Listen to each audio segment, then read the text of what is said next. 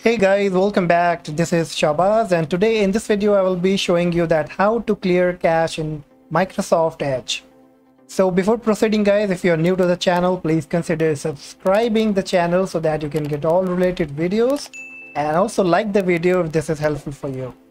So let's start the video. So you on the very left bottom you will see the search icon. Just click on it and just type Edge to open your Microsoft Edge browser.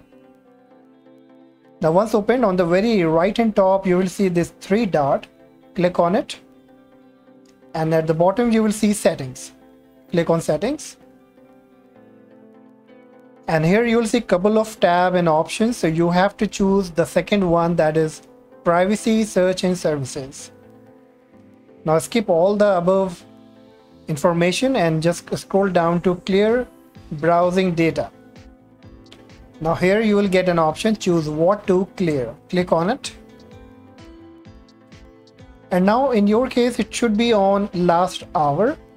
So it means that it will delete all the browsing history cache and cookies that was saved in last hour.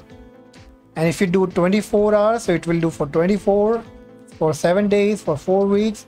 So here you get the 5 option. But what I would recommend you that you should go with all time so probably if you have any problem like with the browser opening any application website or slow browsing then you should go with this option.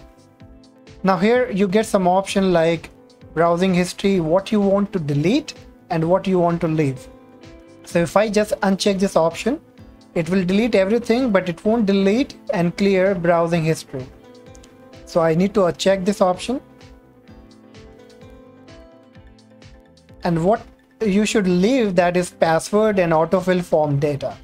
So what does this mean that if you have any saved password on any website like on your email social accounts show like shopping accounts if you have saved your password if you check this option and go with clear now it will delete all those saved data those password so you should uncheck this one and also uncheck autofill form data.